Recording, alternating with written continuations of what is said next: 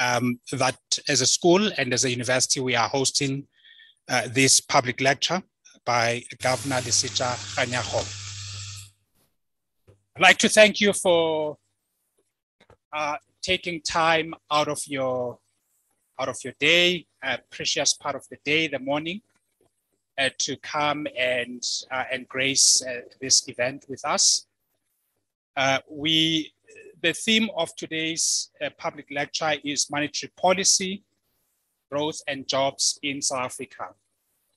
I'm going to outline the proceedings uh, and then we will have our Vice Chancellor and Principal, uh, Professor uh, Zebulon Vilakazi, to introduce uh, the governor and to make a few uh, remarks. After he has done so, uh, he will call uh, the governor up on the stage to deliver his uh, public lecture, and then we'll take three minutes uh, on uh, a dialogue uh, on his speech, and then we'll open up for discussion. I'd also like to welcome those who are joining us online. please feel welcome and do send us your questions and comments on the chat and we are uh, we will be picking up on on those. Without further ado i'd like to call uh, the vice chancellor and principal of the university of witwatersrand uh, professor vilakazi uh, zebulon vilakazi. Thank you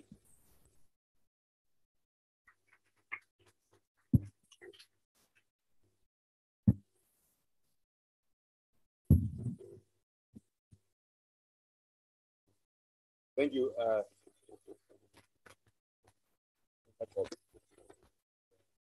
Director of this very important school. A topic of serious importance given where we are as a country. I hope you can hear me at the back. Governor Lesetja Kganyago, distinguished guests, members of the academic community, participants who are joining us online, ladies and gentlemen.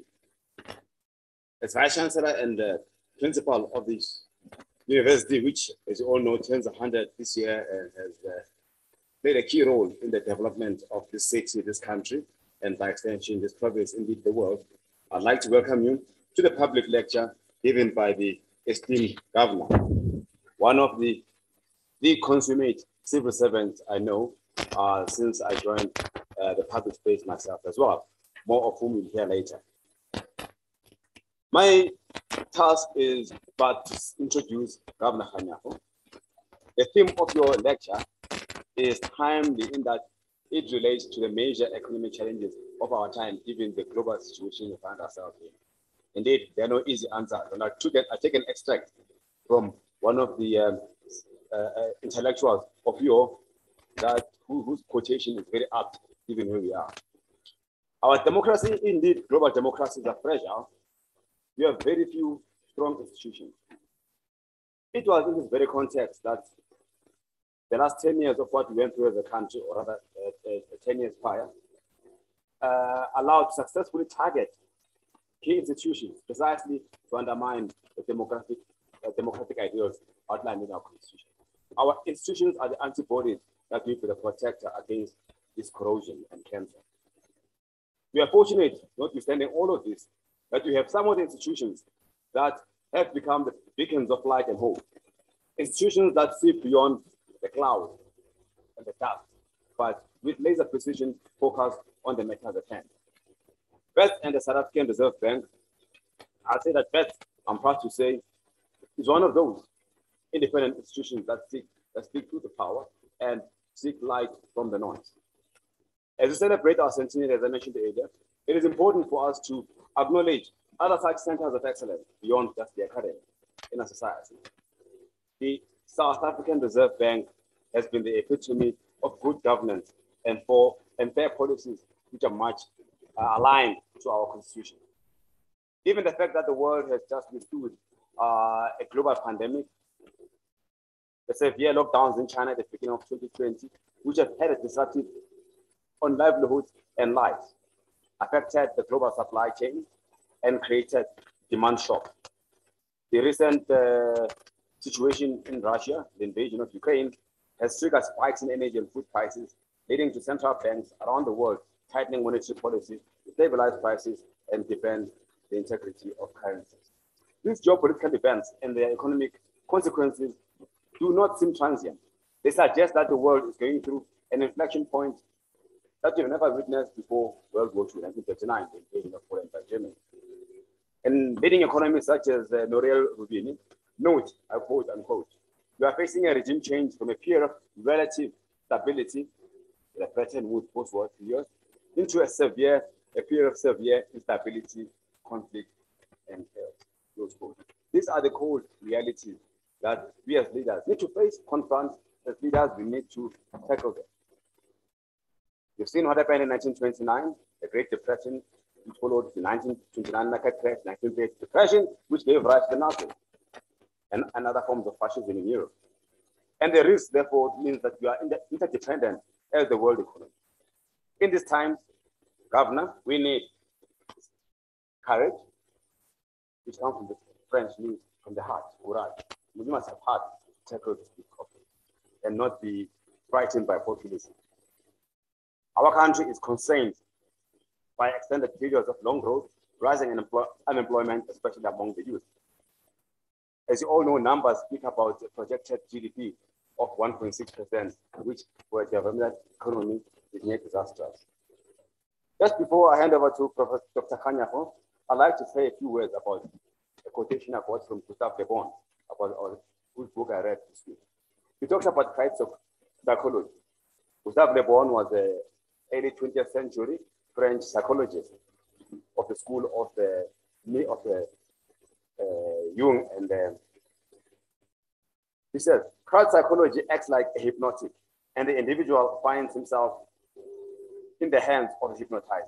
The activity of the brain being paralyzed in case of the hypnotized subject, the latter becomes a slave to the unconscious activities of his spinal cord, which the hypnotizer directs at you. The conscious person has therefore vanished. All the discernment and reason are gone. The feelings and thoughts are bent by the direction determined by the hypnotizer, aka the populace. That therefore you have get caught into this mass hysteria. That the masses in that collective where people are caught in that mass hysteria don't thirst for the truth. They thirst for sweet and simple solutions. They turn aside from evidence that is not into their taste, preferring to deify error, make error some kind of a, a bait and a truth. The error seduce them to whoever can supply them with illusions that their master can easily give to them. So to attempt to destroy those illusions is seen as an act of heresy. So being a governor of the Reserve Bank, your job is not an easy one to give a pickup here and dispel those illusions. Over to you, Governor.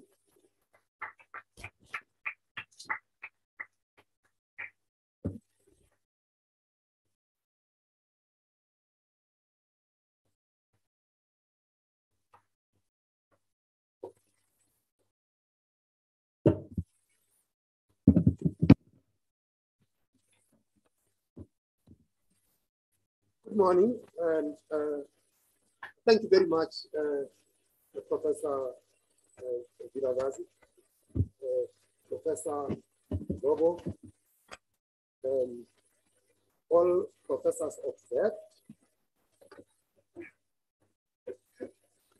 And, um, and thank you very much for, uh, uh, for the invite. The last time we, uh, uh this similar lecture, we were under complete lockdown, couldn't come and do it from here. And we have the problem that Professor Zobo uh, got load shed and, uh, and he was presiding and an emergency had to be created. Somebody else had to, uh, to take over. I don't even know whether they had the script. but I think it was Professor Habib who decided to, uh, to take over at that time.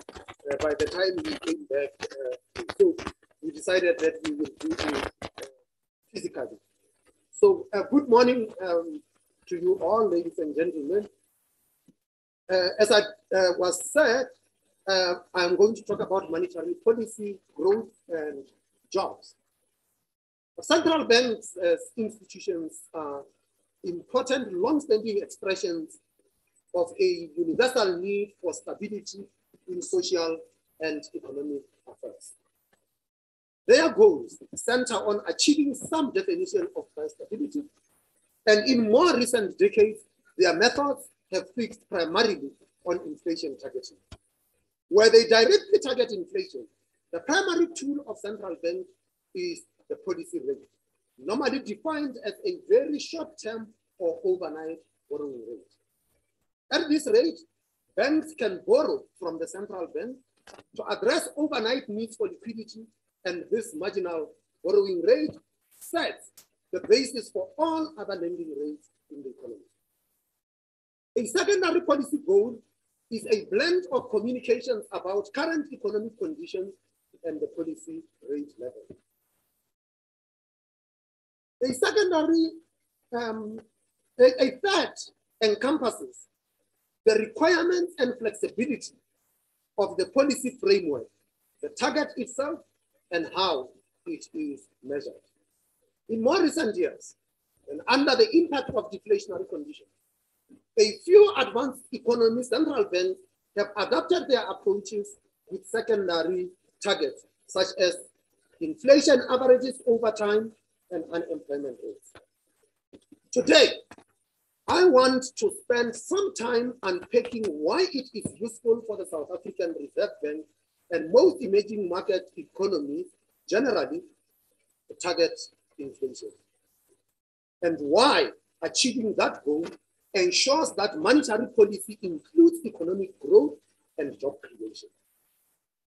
I will look at recent uh, changes in policy targets from, uh, for the moment before returning to current conditions and the relevance of jobs and growth targets for monetary policy. It is useful to start with the global economic shocks of the past 15 years and their monetary policy implications. While the global financial crisis and the COVID-19 pandemic had different origins, the economic policy responses to them were similar. Advanced economies reacted to both by dropping interest rates as far as possible and using quantitative uh, easing. During the global financial crisis, quantitative easing programs kept asset prices of various kinds higher than they would otherwise have been, preventing asset price deflation from causing even worse economic outcomes. And during the pandemic, quantitative easing additionally supported spending as mobility and many face-to-face -face economic transactions were curtailed while also protecting financial institutions.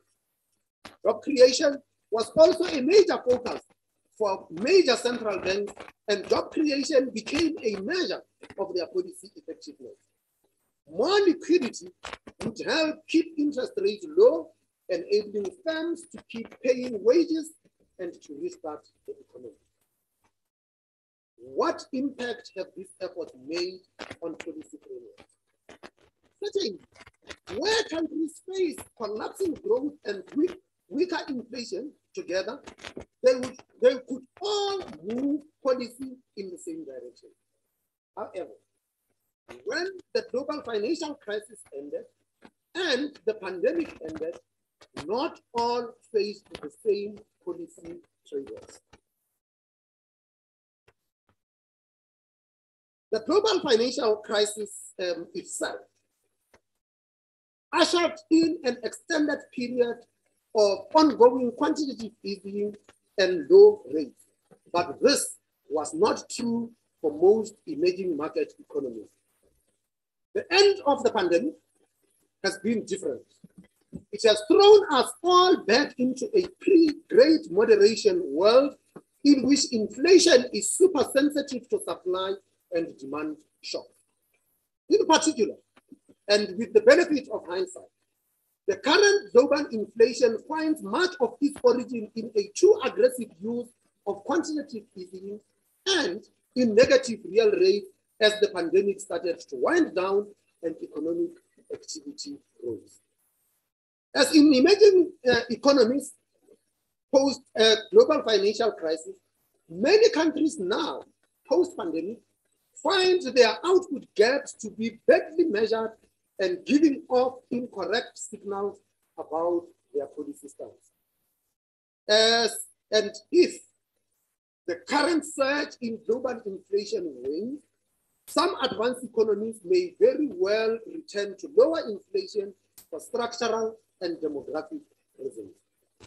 Use central bank may retain other metrics in their policy frameworks, such as economic growth rate or the prices of specific assets, for example, house prices in New Zealand, or in the case of the United States, employment levels.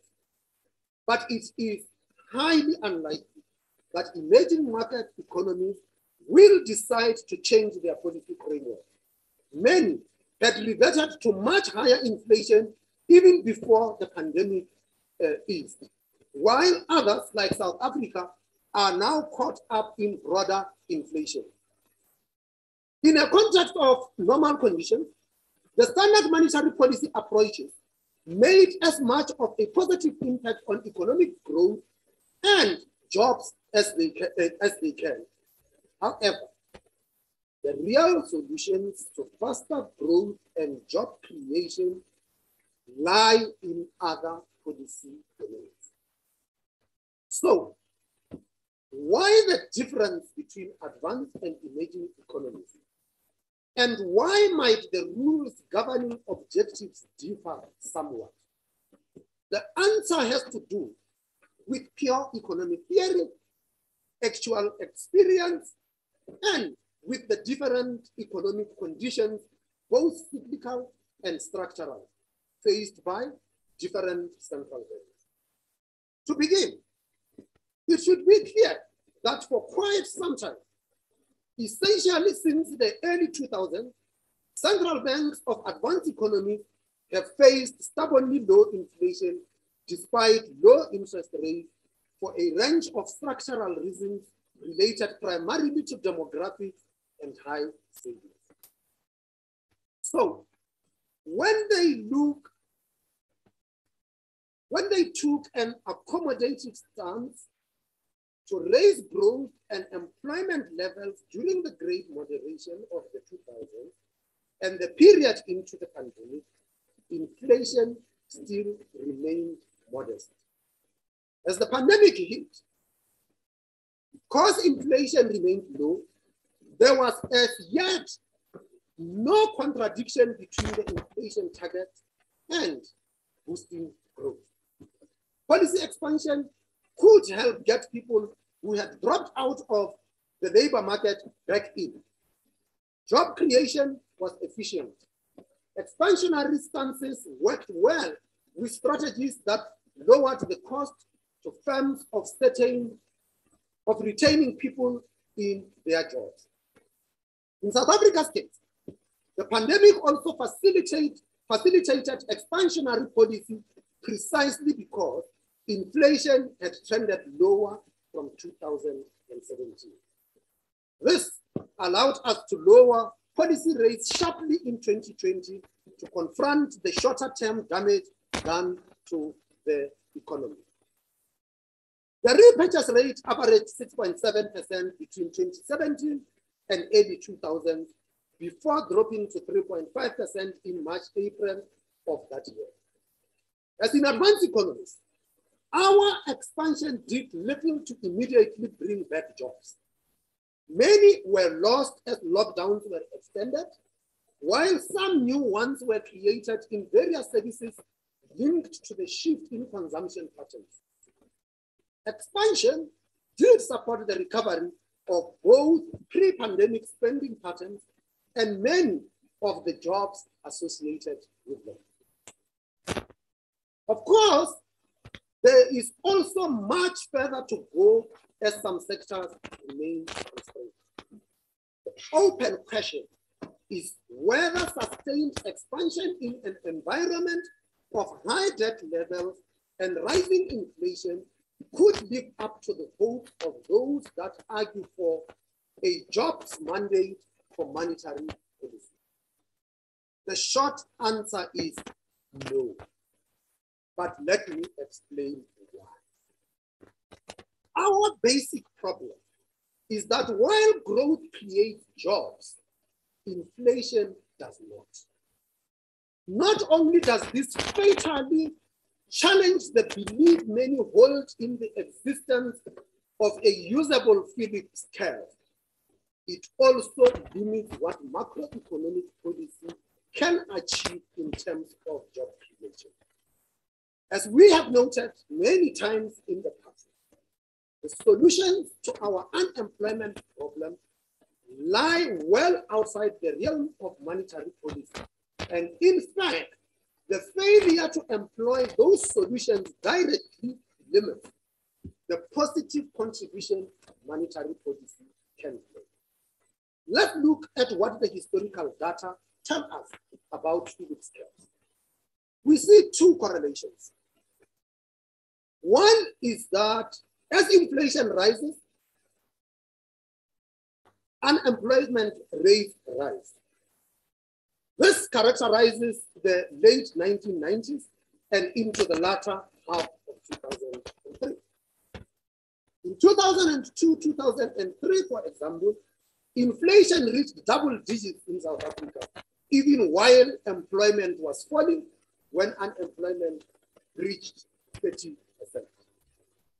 From about 2003 to 2007, however, we see another correlation where inflation falls and employment rises. After the global financial crisis, from about 2011 to 2019, we see something different. Inflation first came off the highs of the global financial crisis and then accelerated back up towards around 6%.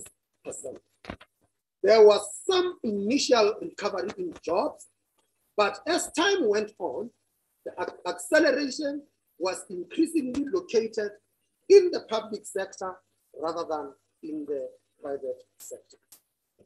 Economic growth weakened quite sharply from 2013 to 2015, and then more gradually slowed through to the pandemic. Through the, uh, to the pandemic.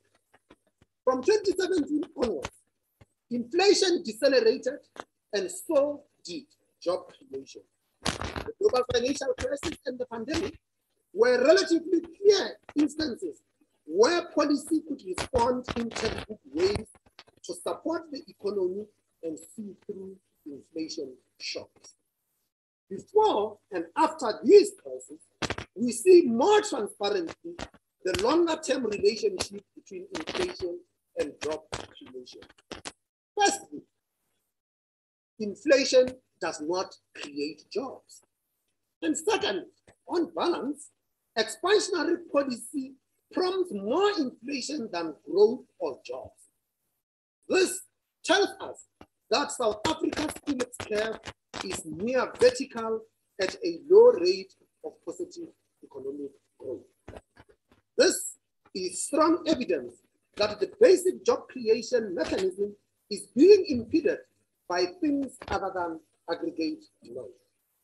This adverse relationship between policy expansion and inflation kicks in when employment levels rise above what is called the non-accelerating inflation rate of unemployment. Evidence for South Africa shows that this happens when unemployment rate is still very high. This is exacerbated by level changes in the NAIRU caused by structural impediments to job creation. For instance, load shedding or higher transport costs indirectly increase the cost of creating jobs and push up the NAIRU. A range of uh, long-standing factors contribute to our very high NAIRU. Perhaps the most important of these is where people live and the cost of supplying their labor as well as the skills they have compared to their cost. Regulatory costs of our economy also feature in various ways, including housing where housing where businesses can ply their trade and compliance which is a much larger burden for small and medium-sized businesses compared to that of larger firms. Part of the difficulty is that we have done little to make it easier for less skilled workers to find jobs or make it less costly to employ them. Another part of the falling job creation machine is simply weaker real economic growth compared to the 2000s when job creation was relatively strong. This should not, however, lead us down the path of grasping at another seemingly easy answer. Higher inflation will not get us higher sustainable Instead, inflation undermines short-run growth by increasing interest rates on borrowing, affecting consumers buying on credit, and business owners who want to use credit to invest. Higher interest costs reduce short-run cash flow, reducing all future consumption spending.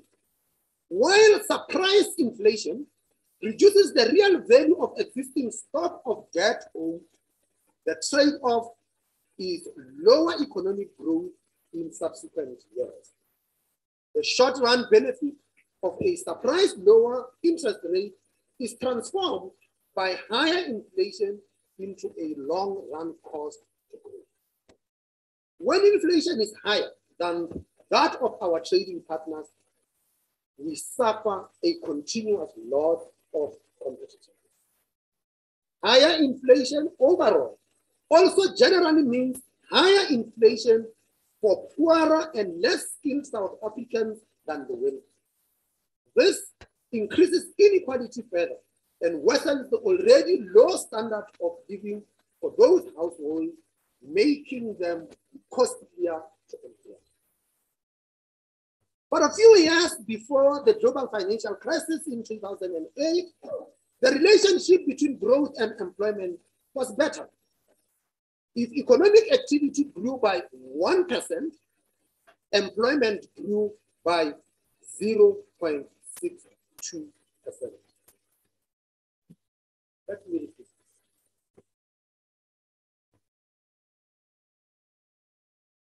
If economic activity grew by 1%, employment grew by around 0.62%.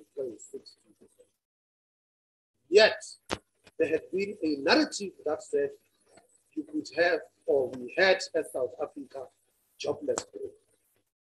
The reason we are not having jobs now is precisely because we are not growing.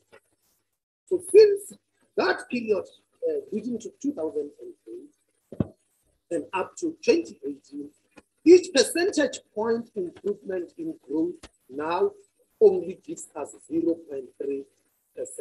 more jobs our low employment problem overlaps entirely with our low growth. In this context, the best a central bank can do is stabilize unemployment at a rate consistent with price stability. If a central bank attempts to get unemployment below the NAIRU, the result will be larger quantities of inflation but only small and temporary quantities of jobs as the supply curve becomes more critical.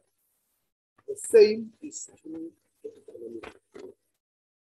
Assuming that most of our unemployment problem is structural, are we at least sure that the residual cyclical unemployment is being reduced by monetary policy?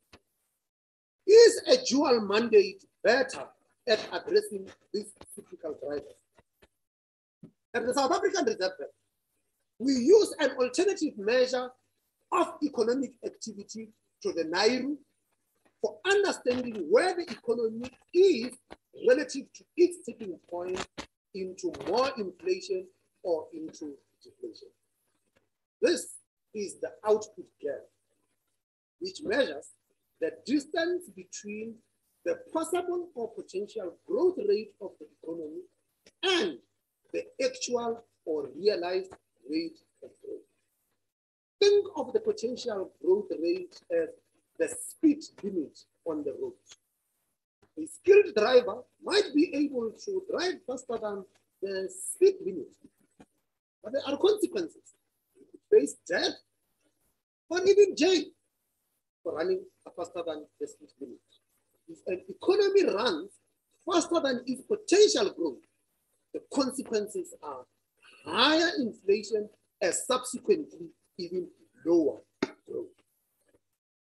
Similar to the United States Federal Reserve, we use what is called a Taylor rule to help tell us what the interest rate level should be given the output gap and the distance between the inflation rate we want and where it currently is.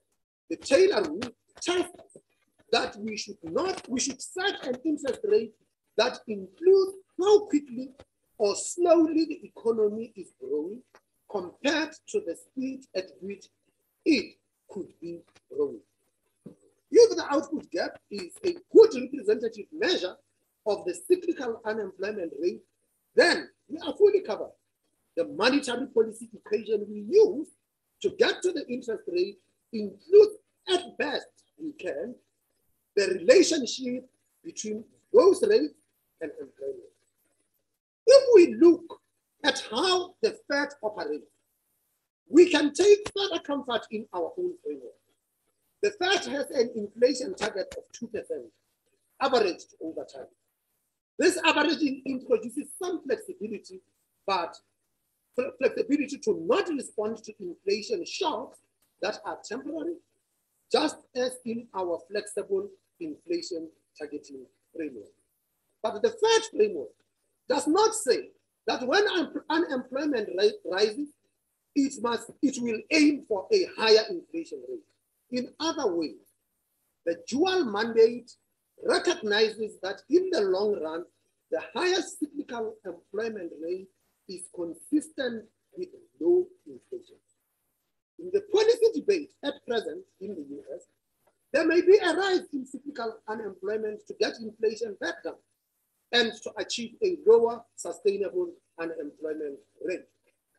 We also need to be cautious in our current circumstances. With, it, with surging inflation in advanced economies, it is likely that the adjusted policy frameworks of recent times will shift back to simpler and clearer formulations. There are three takeaways from this discussion that stand out.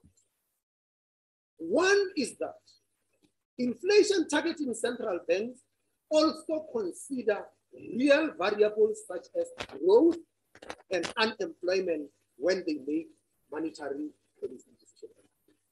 The South African Reserve Bank is no exception.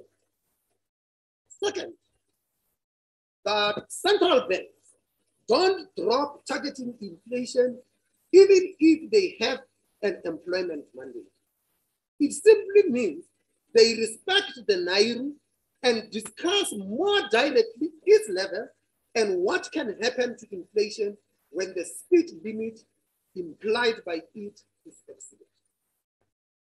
The Third takeaway is that despite some policy innovation in recent times, in some advanced economies, these may well be scaled back to simpler frameworks. Finally, we need to recognize for the sake of solving our low employment problem and to keep monetary policy focused on the right things, that many issues sharply limit the transmission from policy to job creation. One is the job intensity of growth, which we discussed. Another is the supply of skills that are coming into the market and their cost. Some might argue that in that case, it means that monetary policy should be pushed much further and harder to get the expected growth of jobs. Unfortunately, with inefficiencies and constraints, when inefficiencies and constraints exist, pushing harder on monetary policy is like pushing hard on the accelerator on a curvy, icy road, road over a mountain pass. At present, many central banks are speeding on that ice with global inflation sharply higher persistent. Even our own relatively benign recent inflation experience has become much more challenging very quickly. We have seen now that having two targets certainly does not mean double the benefit. Instead, it means that there are times and certain conditions when one policy tool helps to achieve both. It also means that under other conditions, one tool cannot achieve both. And much of the world has now entered this territory, a policy dilemma. When policy becomes overloaded with too many and contradictory objectives, then negative outcomes are more likely. As inflation rises and growth slows down, a central bank that fails to respond to the rising prices will face the prospect of compounding inflationary shock, currencies depreciate, and investment so, where in all of this does South Africa find itself? We have not reached the end of our policy rate space. We do not have stubbornly low or close to zero inflation. We are experiencing high inflation that has been rising for the best part of the year. Inflation expectations, for the most part, are proving to be more responsive to the current inflation outcomes than we would like, and less anchored around the midpoint of our time. If the expectations that firms and households hold for future inflation stay stray from the inflation target, then higher nominal wages and consumer prices are likely to emerge. In other words, Once inflation expectations rise, they become a self-fulfilling prophecy, and the central bank has a more difficult and longer-term problem. A more expansionary policy stance runs that risk by enabling first round in inflation to embed into second round inflation. Put simply, you see prices rise, and because you see prices rise, you ask for higher wages. And because you are asking for higher wages, the firm raises its prices again, you are caught in that cycle. Central bank's job is to break those. This implies that we need to continue the normalization of interest rates, moving them closer to the level that is consistent with more stable inflation rate and sustainable growth. At present, our repo rate is at 6.25%, still below long-term levels, but rising to a more sustainable long-term level that is consistent with inflation stabilizing at 4.5%. So let me conclude and look forward to the engagements. As we have discussed today, Neither growth nor high inflation lead directly to job creation in our economy. Much of our employment challenge lies in encouraging the return of economic activity in sectors that have been hardest hit by the pandemic. And we will also need to recognize that more jobs may be permanently lost as firms do things differently and as consumption patterns shift. Other jobs will be created and permanently impacting on employment levels requires approaches that have nothing to do with monetary policy. just adding jobs targets will not get us there. And indeed, part of our inflation problem stems from efforts to achieve such targets at a global level. We should be careful not to add to our policy objectives in a way that surely would push us into sharply higher inflation. If these are the primary constraints to job creation defined by the literature, and monetary policy has no impact on them, then the claim that more expansionary policies will solve the unemployment problem is simply an empty promise backed up by little more than ideology and wishful thinking. We have an unemployment problem that needs more credible solutions. Employment and growth are both limited by factors that are beyond the reach of the central bank's toolset.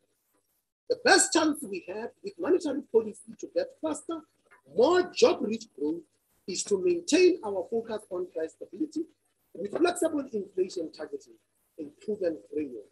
This enables the SARB to help maintain a stable environment that is conducive to economic growth and because credibility is high, for it to create the necessary flexibility to ignore short-term inflation shocks.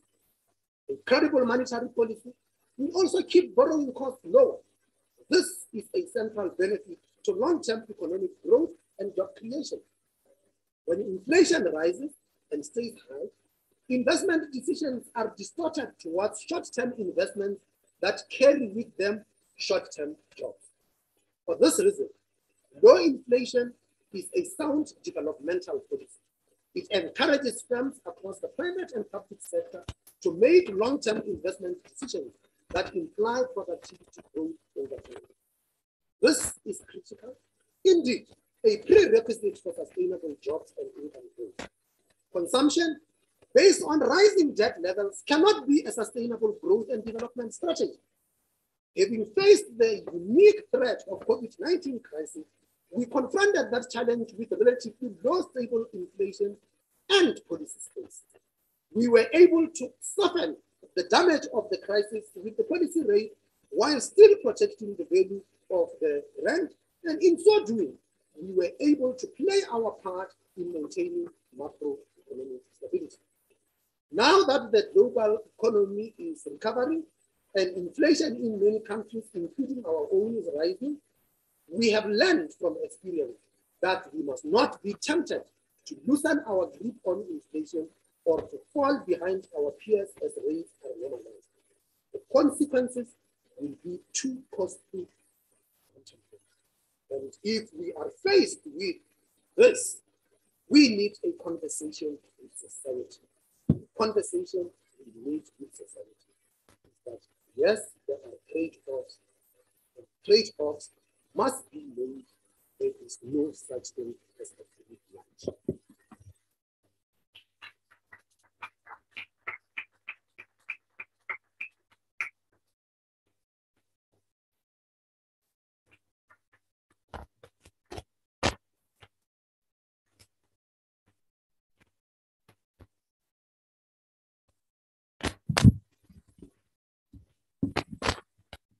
Uh, thanks, Governor, for um, such a packed uh, lecture uh, that explicates on uh, multiple challenges that the world faces, and in particular, the tensions within our own uh, country.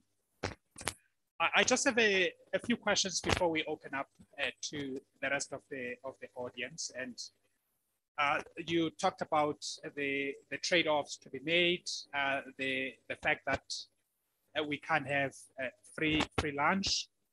Uh, some would wonder whether whether you you can give us some hopes of green shoots anytime soon.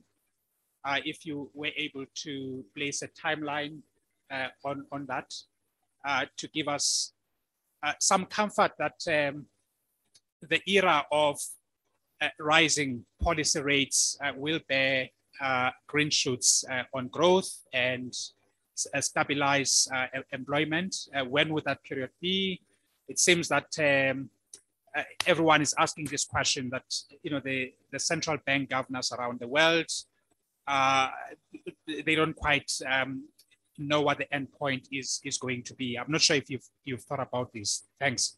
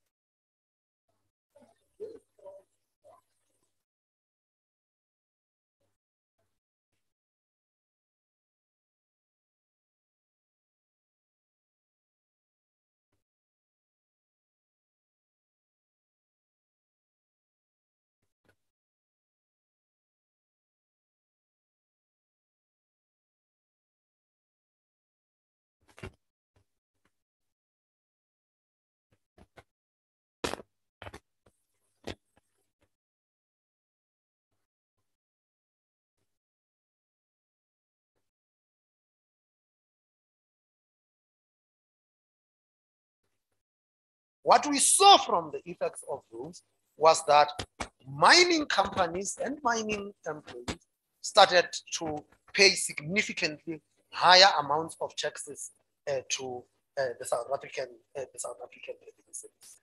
That enabled the treasury to pay down some of the debt, and as such, debt is picking up at a level lower than what was previously thought. I mean, when uh, we gave the lecture last year. The talk was that debt could exceed 100% of, uh, uh, of GDP. Uh, by the time we got to the budget this year, it was like it will peak at about 80 uh, uh, percent, 75%. And now it is said that it will peak at 71%. So um, that basically means that South Africa has been able to rebuild its defenses to be able to face uh, to face uh, whatever shock uh, that uh, that comes. And it looked like um, we were getting back to the nice period because growth was rising, and at the time inflation was still was still contained. Entered the war. Entered the war, and um, global supply chains were significantly disrupted. And, um, and because global supply chains were disrupted and the economies were coming out of the lockdown, inflation was beginning uh, to rise and it was rising, it was rising rapidly. Um, for many in the advanced economies, um, uh, they would not they would not say it, uh, but the truth is that they are playing catch up. Uh, inflation has run way ahead uh, uh, ahead of them and um, and, and, and that is so so so when I talked about that policy uh, dilemma dilemma where you are faced with a situation where growth slows down but inflation is uh, is rising uh, you can't if you decide that I am going to let inflation go what's going to happen is that down the line you are going to need even more aggressive policy adjustments uh, to bring down inflation. And when that happens it comes at a cost to longer term growth. And so that is what, uh, that is what uh, we, uh, we had faced. Now, um, global, globally, advanced central banks, economy central banks are increasing interest rates. And because they are increasing interest rates, we are having a repricing of global financial uh, assets. So you are seeing money flowing back into the uh, into the US as their bond yields uh, rise, uh, but also the growth differentials are still favoring them uh, in the uh, in in the US. So you will see capital flowing back into into um, the US and other advanced economies. Where does that leave like leave South Africa? What it says is that we have got to be rebuilding our defenses. That is what you have seen uh, with the budget policy uh, statement uh, that has come through. Why is it important to rebuild our defenses? It's because globally, capital looks at distinguishing one country to the other. And they are looking at the policy framework and the countries with the less prudent policy frameworks get punished. And the experience of the past few weeks shows that it doesn't, that punishment is not confined to emerging market economies. If an advanced economy uh, adopts reckless policies, it too gets punished almost uh, instantly, irrespective of whether it has a reserve currency or not. It gets punished. Uh, it gets punished instantly. So it's important that we stay the course and make sure that our macroeconomic policy framework is prudent because we know that prudent macroeconomic policy served South Africa well going into the global financial crisis. We saw it, uh, it led to higher growth, it led to better job creation, and need I say that our macroeconomic policy from 2011 or 12 um, was not as prudent as it had been uh, in the past. And the results are, are there to say, to, uh, for everyone to see, because we couldn't rebound sustainably uh, after the global financial crisis. Part of it being that we didn't rebuild uh, our defenses. It was a very important lesson for South Africa uh, that uh, getting now coming out of this crisis that we are able to. You have loaded so many questions. Uh, uh, I, I, I, hope you do not. Uh,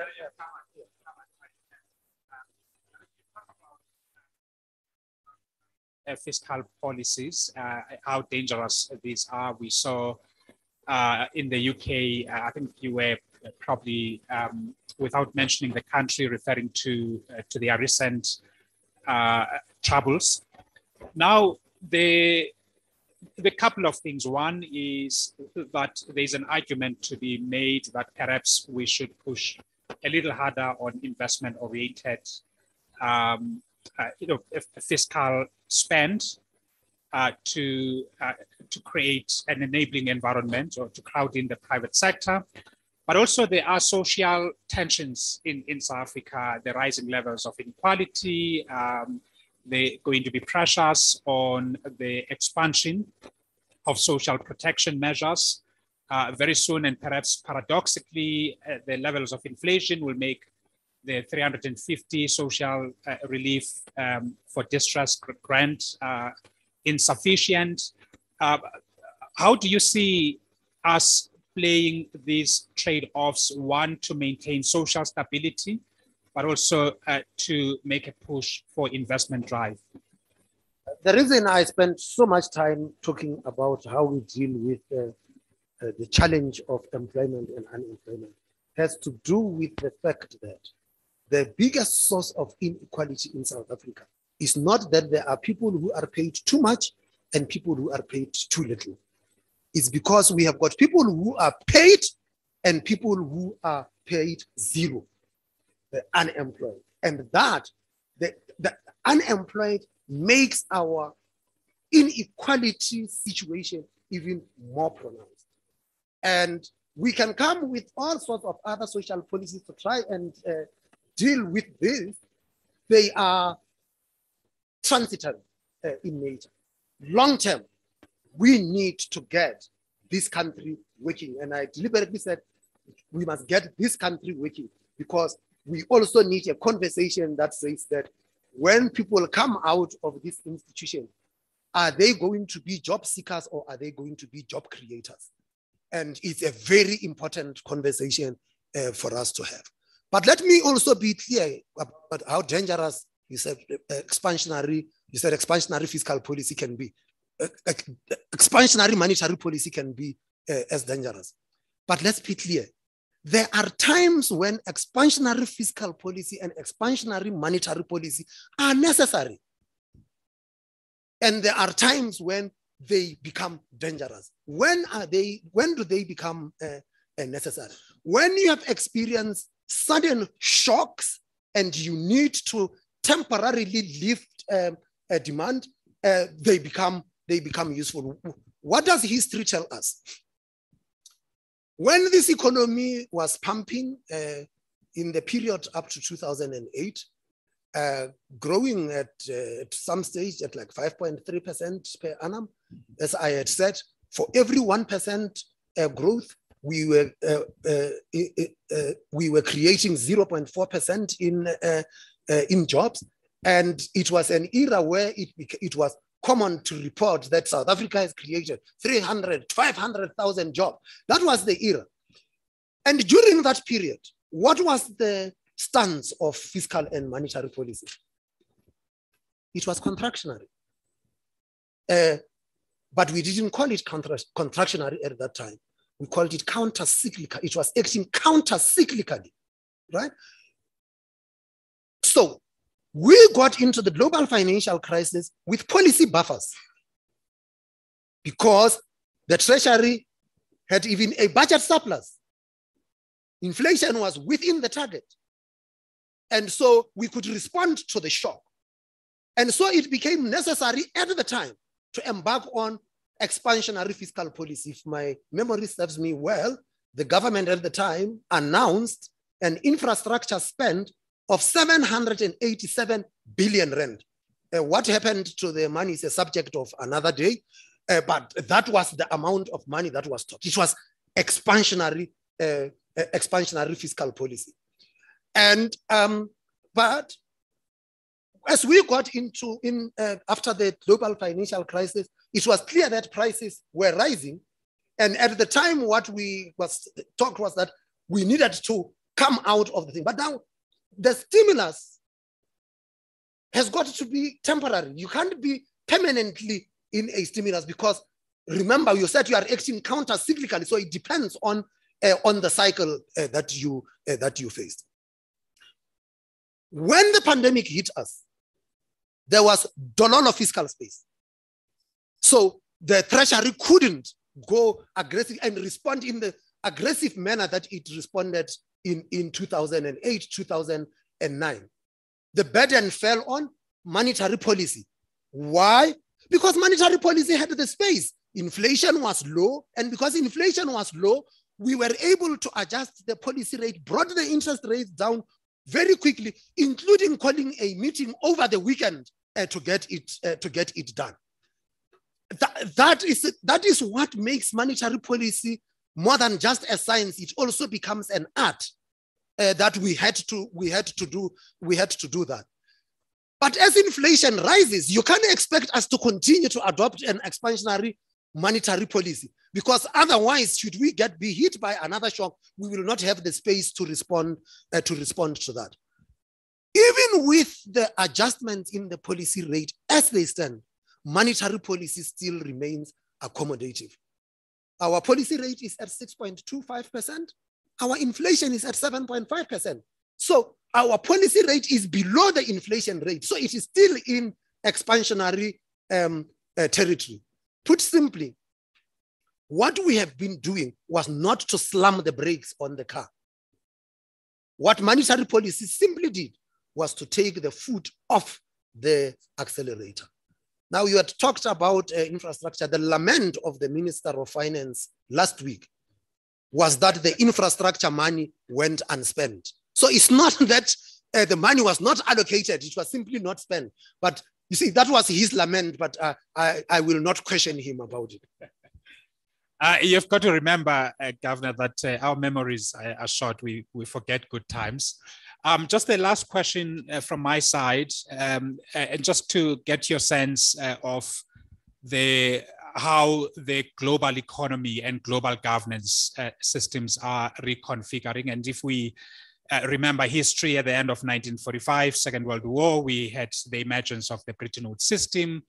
1960, uh, the 60s, the introduction of the, I think it was 69, the introduction of the special drawing rights. 1970 oil crisis and the collapse of the gold standard, 1980s world recession and um, lost decade for Africa and uh, Latin America.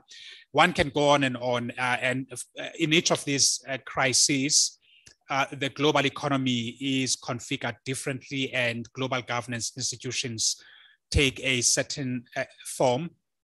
Now, fast forward and looking at where we are, we have geopolitical frictions, rising sovereign debt threat for, for many low income countries.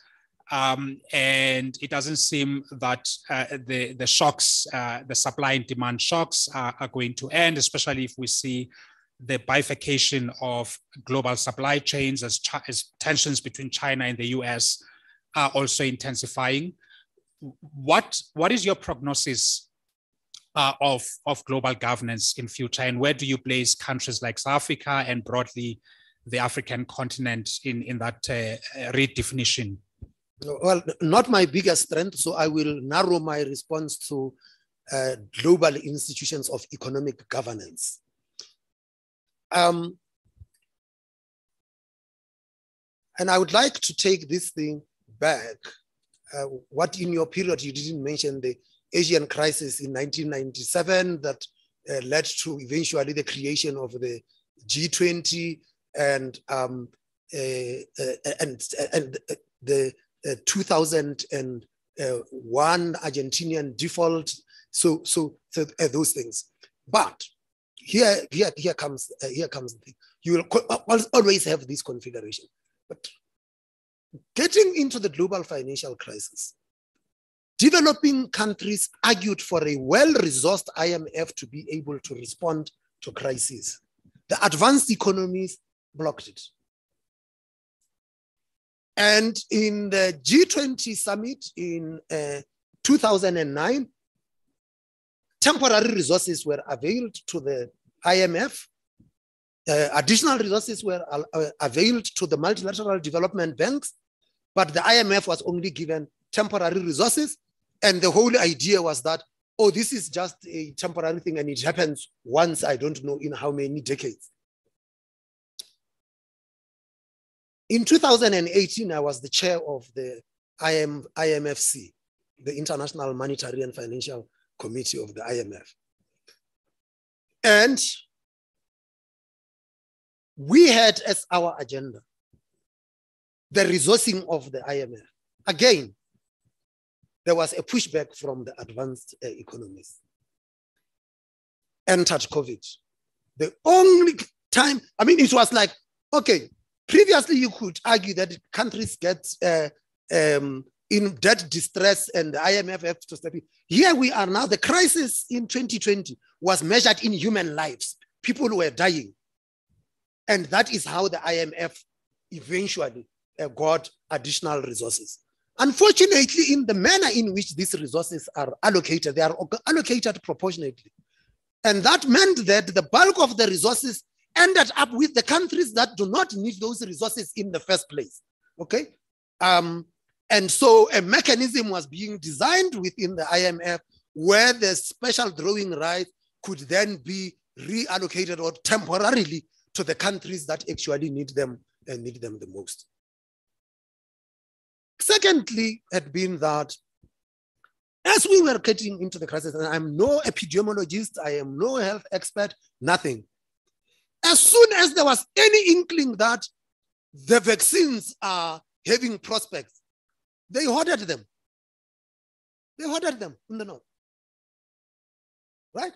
And prioritized their own thing. The problem is that this virus does not know boundaries and it just keeps on going. And then it, it was very simple. None of us are safe unless all of us are safe.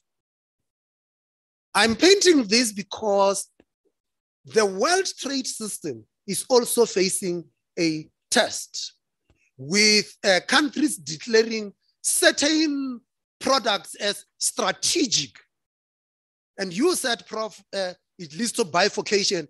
Well, bi, I suppose, means two, but I actually see a multiplicity of this. Uh, uh I don't know is uh, trifurcation or what, but but I see a multiplicity uh, of this. And then I had learned last month, this very very last month, a new term called friend shoring which says that uh, countries decide that they are now going to trade with their friends, and uh, which then leads to um, a fragmentation of the world trading system where you had the World Trade Organization as the governing body that would have enabled us to resolve trade disputes and, uh, and so forth.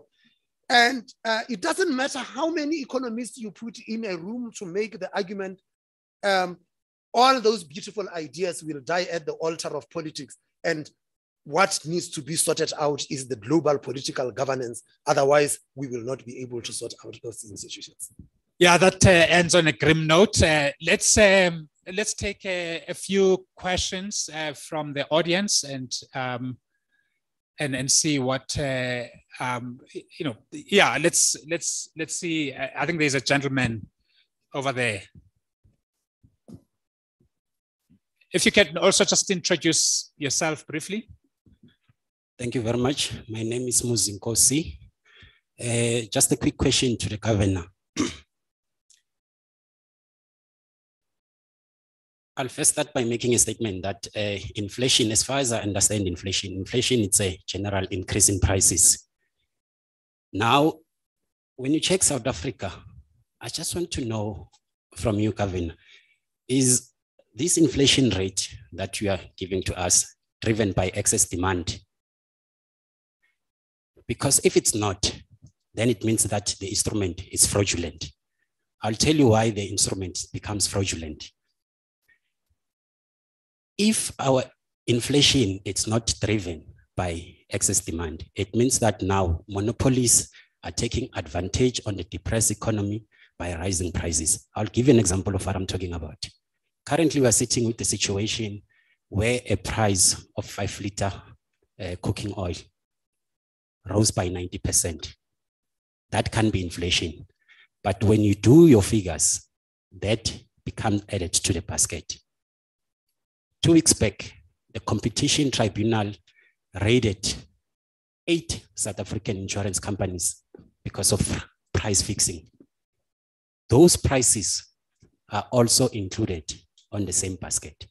So with that being said, that's why I'm saying, let us get rid of that instrument of inflation targeting because it's not going to get us anywhere. Second point, Governor, 2020, when we started decreasing the repo rate, our inflation was sitting within your target because you, you're saying you're targeting between 3 and 6%.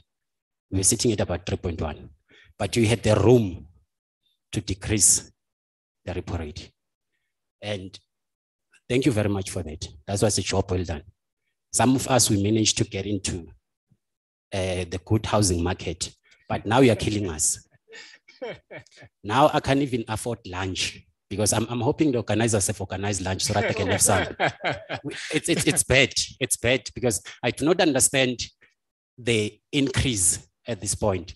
Because if you were to say to me, this increase is caused by excess demand, then I will come and fight with you directly there in the stage. And it's not. So monopolies are taking advantage of this depressed economy and they're overpricing. What are you doing about that? There's simply nothing at this point. We know that Bonakele, the guy that heads competition tribunal, is sitting with a lot of cases. So there's too much price fixing on the market. Yeah. Last one that I want to give to you without wasting time. When the Massmart came into uh, the South African, South African malls, I'll, I'll give you an example of game. So normally in a mall, you'll have two uh, supermarkets that are operating, which will have yeah. your Pick n Pay or Checkers. They wanted to kick game out. And the reason being was that game was very cheap.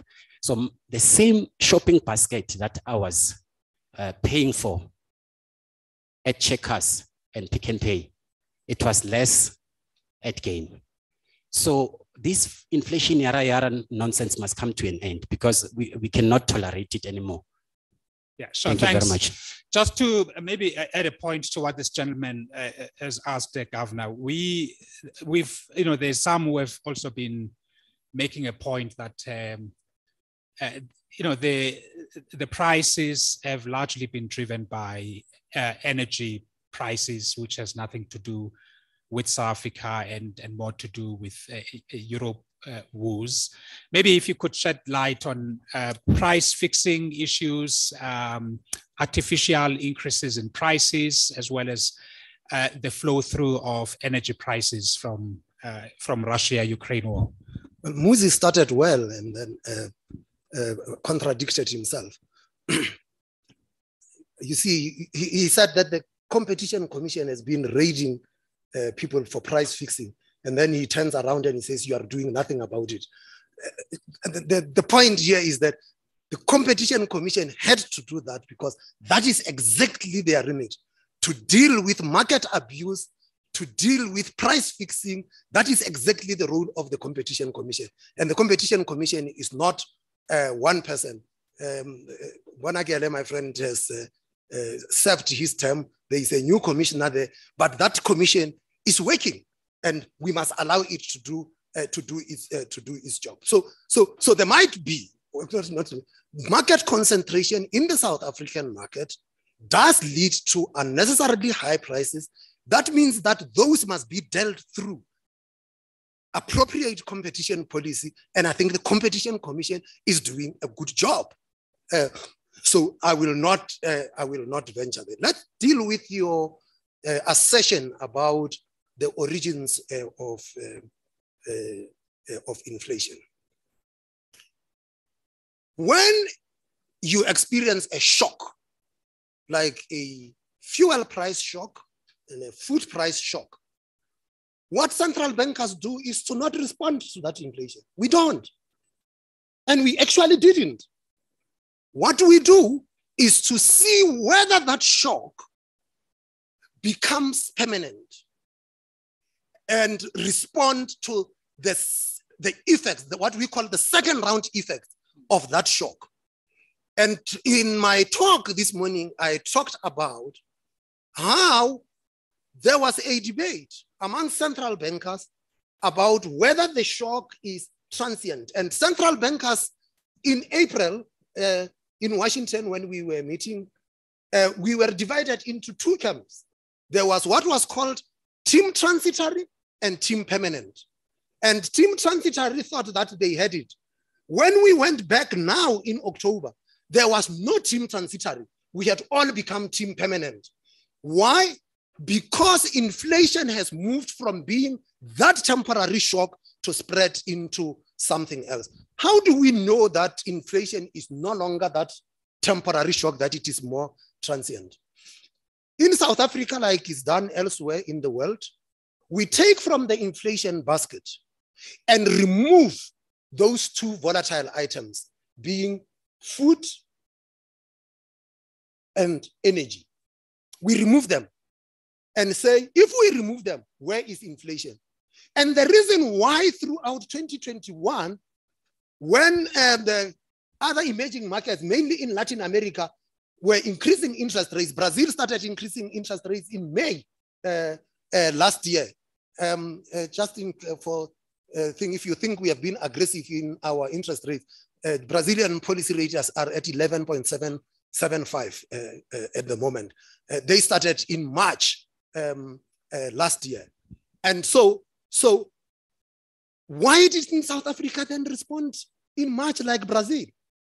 The reason we didn't respond in March like Brazil was that when you remove those two volatile items, the inflation that is remaining, what we call core inflation, was contained. And it remained contained throughout the year. And as a result of that, there was no need for monetary policy to increase interest rates. But by the time we got to November, we saw evidence that the increase in prices have moved away from food and fuel, and it was starting to spread itself into uh, into other prices. How does it spread itself into other prices? There are a couple of things. The lower deciles of our income earners spend a lot of money on food. And so when uh, inflation goes up and it's driven by food prices, for them, the headline inflation means nothing. Their immediate inflation is what they see. Put simply, inflation erodes the buying power of the population. And if the authorities do not step in and contain inflation, we are selling our people short. We have got to deal uh, with uh, we have got to deal with inflation. So there is evidence now in our inflation dynamics that showed that core inflation is rising. And actually, in our forecast, we expect that core inflation will rise close to five, just to just over five percent uh, into the into the next year, and that actually headline inflation might even be coming down faster than uh, core. The reason uh, if there are statisticians in the room, are mainly base effects because uh, these increases that we saw this year, next year you calculate the increase on a higher base, and so uh, uh, uh the effect comes uh, comes comes lower. So inflation has become uh, spread uh, spread now beyond those headline uh, things. And you say that well, if it is not from the demand side, do not respond. Well, I used this metaphor. If a snake enters your house, you don't ask the snake, are you from the demand side of the forest or are you from the supply side of the forest? You have got to manage the, the fact that the snake is now here. You have got to now manage it. And, um, and, and that is what, uh, that is what uh, we face. And the decisions that we are going to make are going to be uh, difficult. There are trade-offs that we make, and and that's what we that is what we are uh, tasked with. Sure, tough job, Governor. Um, let's take uh, two last questions uh, before I read the ones from the from online, and then we'll allow you, Governor, to to close. no, no, no, please, please, we still have time. But if we just as a point of clarification, I, am not talking yeah. about. No, no, no, I'm not. Oh, okay. Point of order here, Chair. Okay. This is a place of intellectual discourse. As Bashan said, I take exception to that. It's the place of discourse.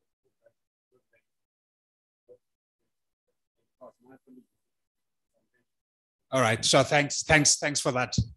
Um, otherwise, I mean, great points you you raised. Um, couple of people have raised uh, similar points, and I think you know we don't have sufficient time to uh, to explore uh, all, all of them. But there are serious trade-offs, uh, you know, between, I mean, the house, those who are entering the housing market for the first time are battling um, to, uh, to access the housing market, and these are middle classes.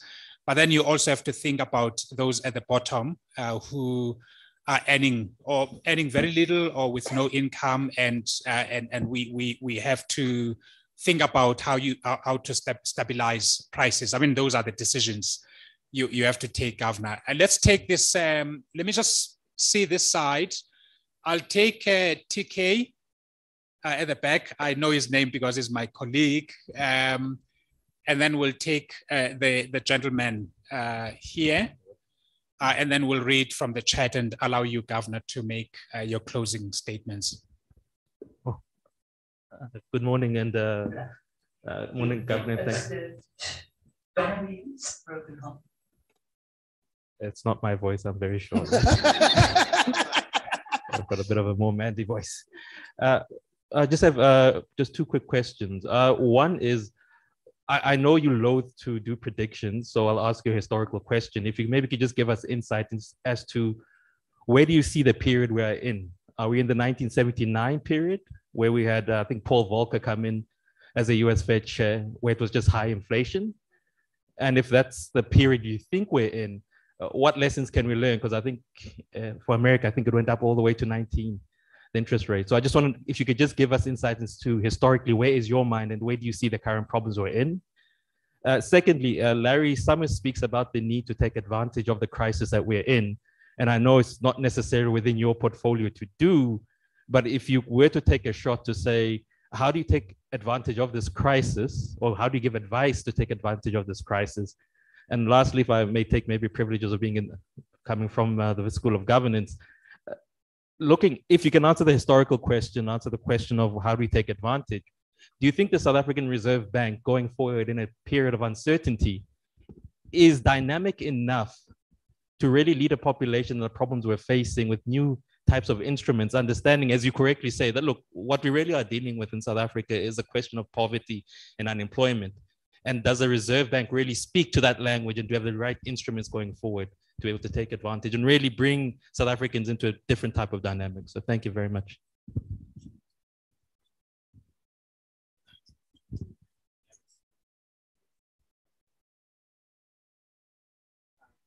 Yeah, please go ahead. Um, thank you for the opportunity.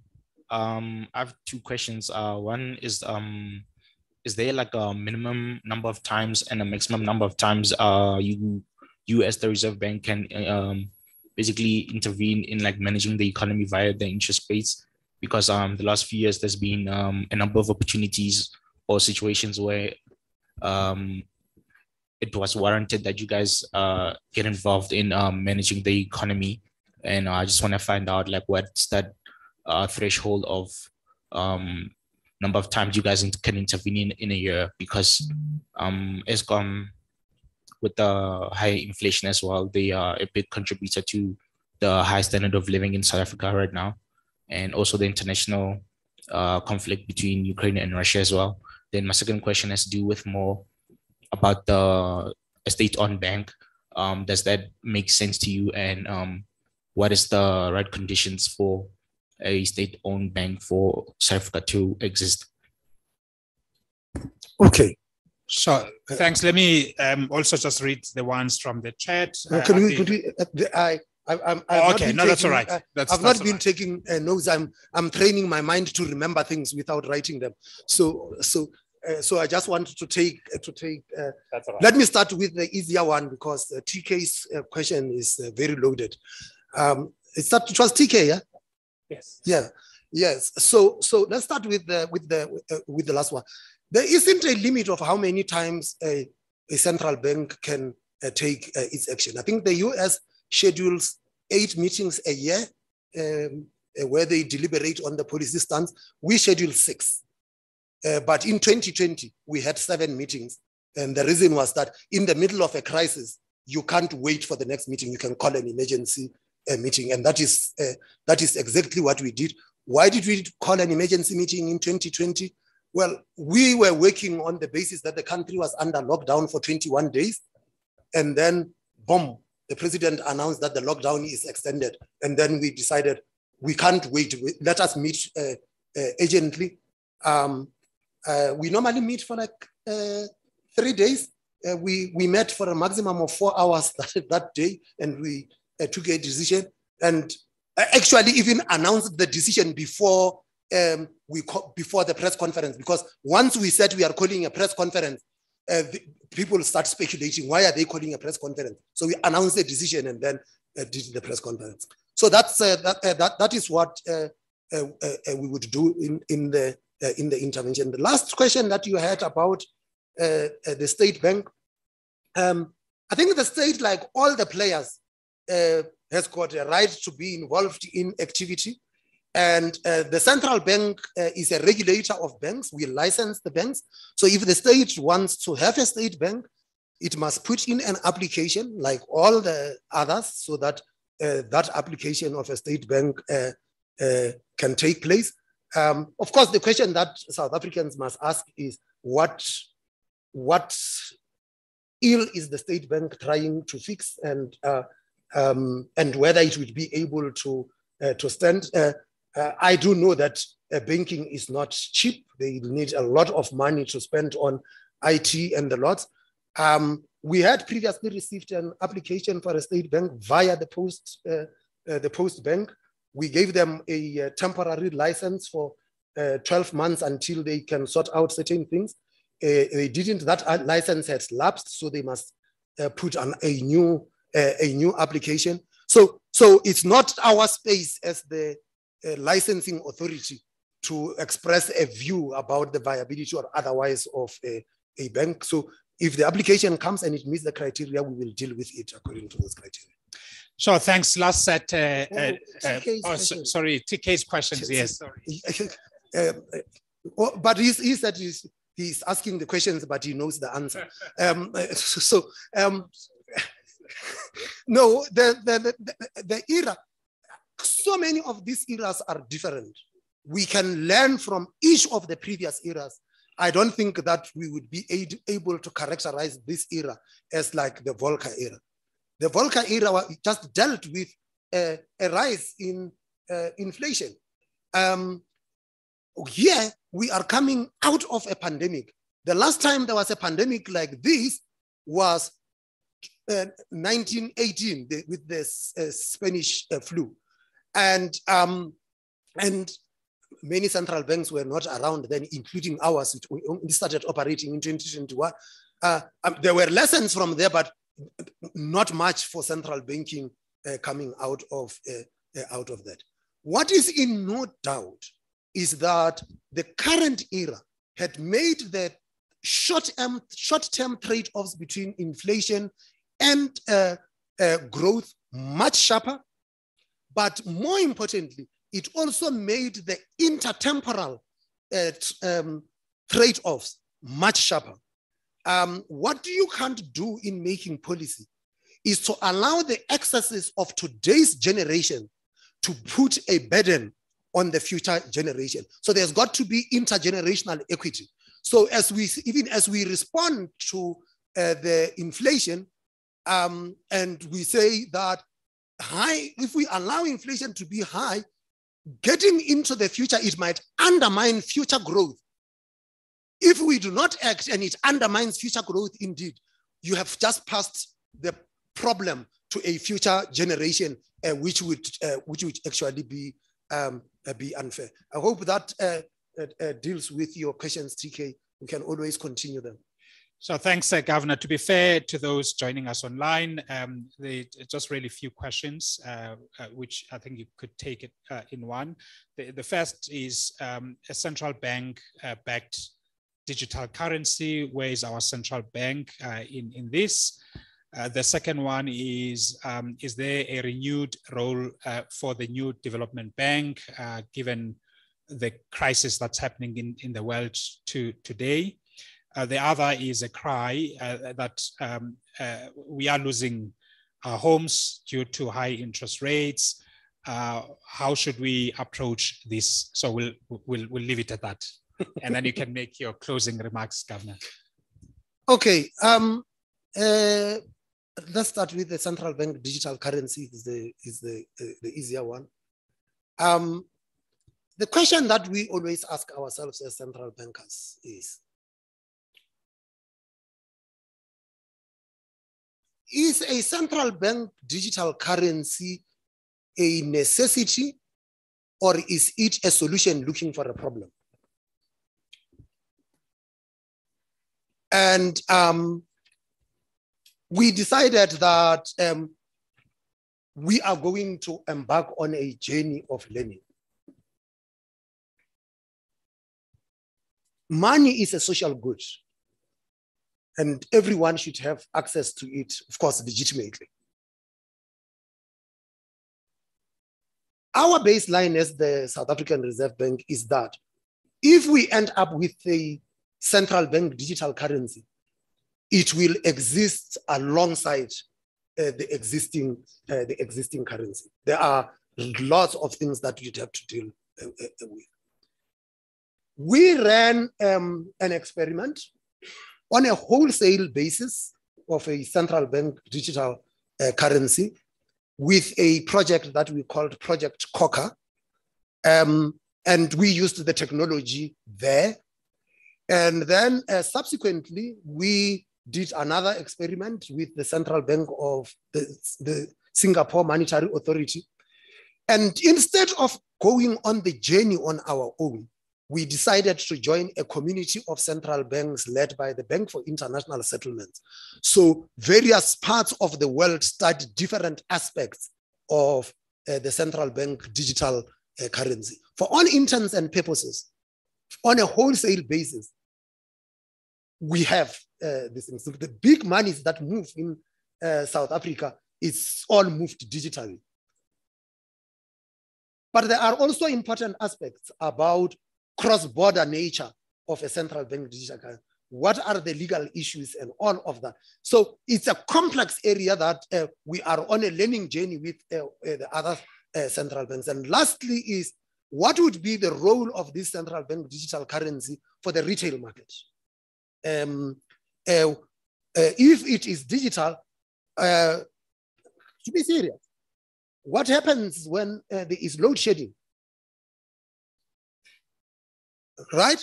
And so one of the things then we are dealing with is that it needs to be um, possible for the digital currency to be available online and offline. So that if there is no electricity, you could still uh, uh, do um, trades uh, in, a, in a CBDC. It's a complex area that we, uh, we have been, uh, we have been uh, exploring. The, the housing. The, the housing, I want to finish with it. the um, it's the the the, the uh, new development bank. The new development bank was the, the, the, next question. Um, this is driven. The new development bank is driven by treasuries. Um, the central banks have got. It's not a bank, uh, but we, it's it's something. It's an arrangement. We call it the contingency reserve arrangement, and in the contingency reserve arrangement, the central banks pool a certain amount of their reserves uh, whereby if one of the countries in the BRICS would need access to uh, currency, foreign currency, it can access. And those currencies is the currencies of the BRICS countries. Um, so, so, so that is what uh, uh, that is what we have, um, and we run these simulations on a regular basis. And uh, uh, two of the most recent simulations couldn't take place. Why? Because Russia couldn't settle, uh, because there are sanctions. So um, um, that is what uh, uh we have. And the uh, New Development Bank itself had found that um, it would be difficult for them to lend money into Russia now because Russia is, Russia is sanctioned. So these things have got to be located uh, within that global, uh, the global financial, uh, global financial system. Last question with um, housing. I mean, let me first, before I get into housing itself, and say, we hear the cries of South Africans. When South Africans are complaining about the rising cost of living, we hear your cries. We hear your cries when you say that inflation is eroding your income, whether it is the income in the form of a salary or in the form of the 350 that you are getting from government or some other grant from government.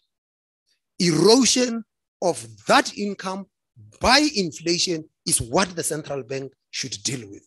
We hear those cries. But in dealing with your cries, there is going to be short term pain. And that short term pain, unfortunately, comes in the form of the medication that is interest rates. It's not going to be easy. There are no easy answers here. And it doesn't, we do not derive joy from people losing their houses or losing their cars. We do not derive joy from that. But we understand that we have to do this thing. It will be painful in the short term because we have got to deal with this medium term problem called inflation that is eroding the income of the South Africans. If we don't, we might end up in a different era. TK talked about the Volcker era. Let's talk about the South African era of uh, 1998 when interest rates went to 25.5%. And uh, South Africans were in all sorts of trouble. And we ended, ended there because inflation expectations were not anchored and inflation was rising. And the central bank almost needed to demonstrate that it could do uh, something about it. And it was also a very difficult era because during that era, we do not know what the focus of the central bank is. The central bank was trying to focus on uh, what was called an eclectic monetary policy, mm-hmm. trying to, one day they are worried about credit extension, one day they are worried about money supply, the next day they are worried about this. It was not clear what the anchor of monetary policy was. In 2000, the inflation targeting framework was introduced. Do yourself a favor and study the era of inflation targeting.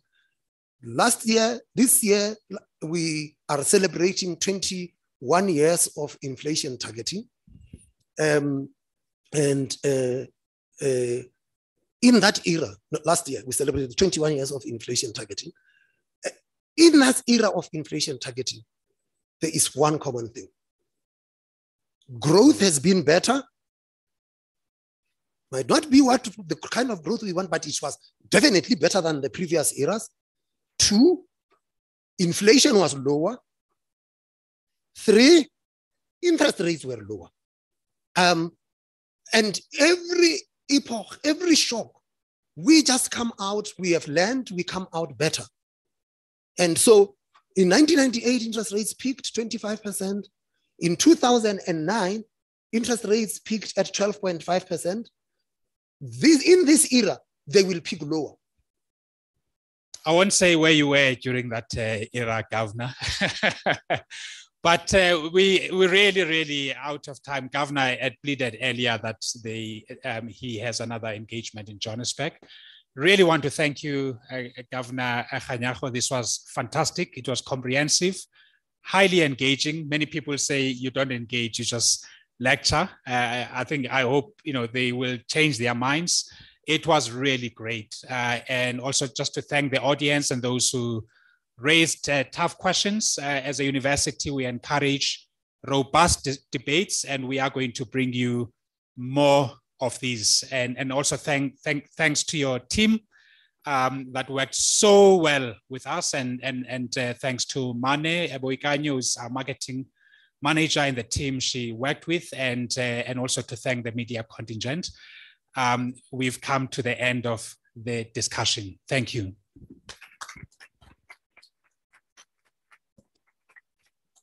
Thanks.